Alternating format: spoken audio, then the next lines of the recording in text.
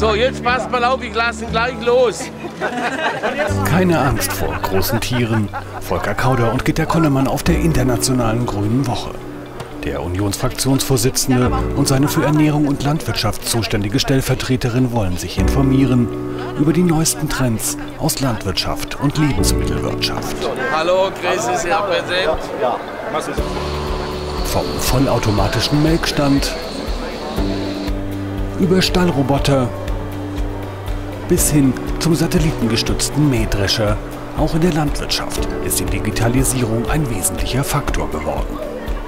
Also die Digitalisierung ist in der Landwirtschaft äh, schon weit verbreitet und ist ja auch richtig, weil wir tun es in der Landwirtschaft noch schwerer als in anderen Bereichen äh, qualifiziertes äh, Fachpersonal zu finden. Und deswegen muss die Technik dort weiter eingesetzt werden.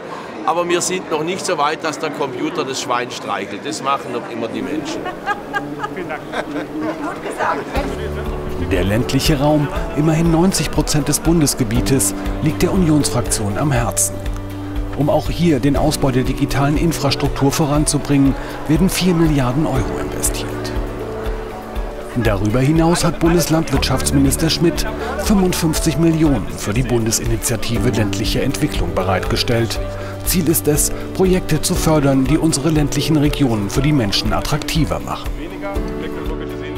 Wir müssen einfach den ländlichen Raum mehr in den Vordergrund stellen, sonst äh, wird der ländliche Raum als ökologische Ausgleichsfläche fürs Ballungsgebiet äh, genau so. äh, festgestellt und das genau können wir nicht zulassen. Ja, also ja, ja. finden wir völlig richtig.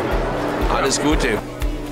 Zum Bild gehört aber auch, dass viele Landwirte um ihre Existenz fürchten. Seit Anfang der 90er Jahre hat sich ihre Anzahl halbiert.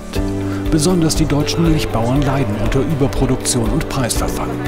Damit auch künftig Milch aus Deutschland auf dem Tisch steht, haben EU und Bundesregierung 581 Millionen Euro zur Verfügung gestellt. Was die Bauern brauchen, sind Rahmenbedingungen, auf die sie sich verlassen können. Planungssicherheit, Rechtssicherheit und das Wissen, dass Politik zu ihnen steht, zu ihren Familien, zu dem, was sie für das Land machen.